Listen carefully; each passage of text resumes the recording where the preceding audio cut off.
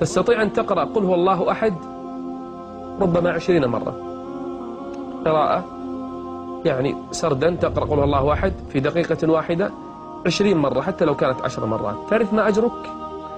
من قرأ قل هو الله أحد عشر مرات بنى الله له بيتا في الجنة.